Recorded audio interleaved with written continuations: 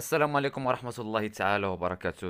إذا مرحبا بجميع متتبعي قناة محمد الفيلالي. إذا هذه البرمجة الخاصة بالمواعيد إجراء الفروض المحروسة والامتحانات المحلية بالنسبة للابتدائي والإعدادي والتأهيلي إذا وهذا كما جاء في المذكرة التالية المذكرة 004 22 حيث تقول حيث الموضوع الأساسي هو مواعيد إجراء الامتحانات الموحدة المحلية على صعيد المؤسسات التعليمية وإجراء ما تبقى من فروض المراقبة المستمرة خلال الأسدس الأول من الموسم الدراسي 2021-2022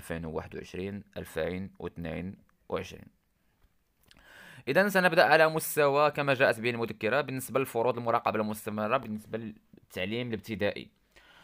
يجرى ما تبقى من فروض المراقبة المستمرة بالتعليم الابتدائي خلال الأسدس الأول وفقا للمذكرات الصادرة في هذا الشأن ويتم تصحيحها واستثمارها نتائجها مع التلميذات والتلاميذ وذلك في الفترات الآتية. إجراء آخر فروض المراقبة المستمرة ما بين 24 و 29 يناير 2000 و22 مسك نقط آخر فروض المراقبة المستمرة ما بين 25 و 31 يناير 2022 واستصدار بيانات النقط عبر مصدورة عبر منظومة مسار ابتداء من 4 فبراير 2022 وتوزيعها على التلاميذ والتلميذات قبل بداية عطلة منتصف السنة الدراسية. اذا بالنسبة للناس اللي ما عندهمش الامتحان الموحد على صعيد المؤسسة بالنسبة للابتدائي غياخدوا النتائج آه تقريبا قبل العطلة ديال منتصف السنة الدراسية وهذا ما جاءت به هذه المذكرة 004 22 صافي؟ دابا غادي ننتقلوا مباشرة بالنسبة للثانوي الإعدادي.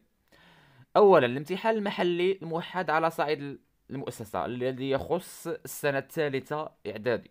ينظم هذا الامتحان بالاستناد إلى مقتضيات قرار وزير التربية الوطنية والتعليم العالي وتكوين الأطر والبحث العلمي رقم آه، كذا كذا. صادر في 23 رمضان 1927 بشأن تنظيم امتحانات نيل شهادة السلك الإعدادي كما وقع تغييره وتتميمه وذلك بين واحد وجوج فبراير. قالوا لي رقم ما بين واحد وجوج فبراير.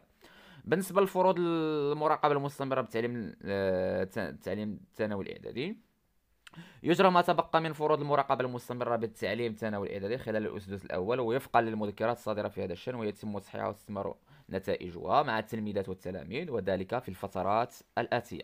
إجراء آخر فروض المراقبة المستمرة ما بين 24 و 29 يناير. مسك نقط آخر فروض المراقبة المستمرة ما بين 25 و 31 يناير.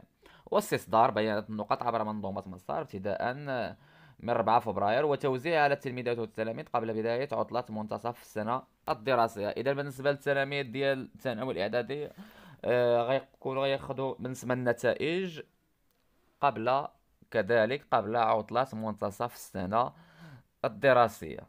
إذا كما كان في القديم كان يأخذون النتائج بعد العطلة. صافي؟ ولكن الآن سوف يؤخذون أو يأخذون النتائج قبل آه، العطلة عطلة منتصف السنة الدراسي. إذا هذا هو الجديد. إذا آه، سننتقل مباشرة إلى السلك الثالث اللي هو التعليم الثانوي التأهيلي. إذا يجرى ما تبقى من فروض المراقبة المستمرة بالتعليم الثانوي التأهيلي خلال الأسدس الأول وفقا للمذكرات الصادرة في هذا الشأن. ويتم تصحيحها واستثمار نتائجها مع التلميذات والتلاميذ وذلك في الفترات الآتية.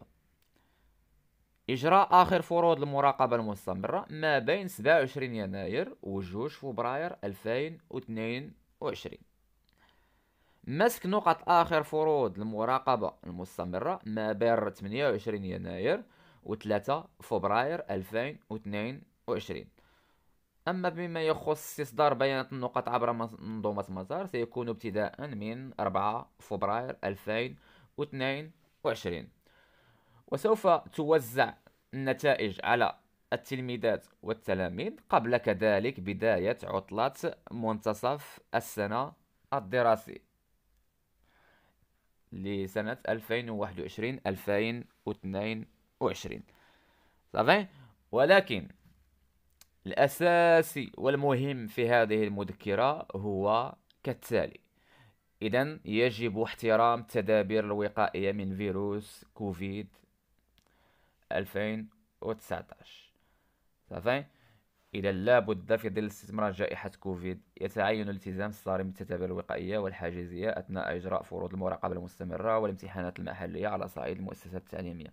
وذلك طبقا لما تم التنصيص عليه في المذكرة 001 وبشأن تدبير الدراسة خلال الفترة المتبقية من الموسم الدراسي.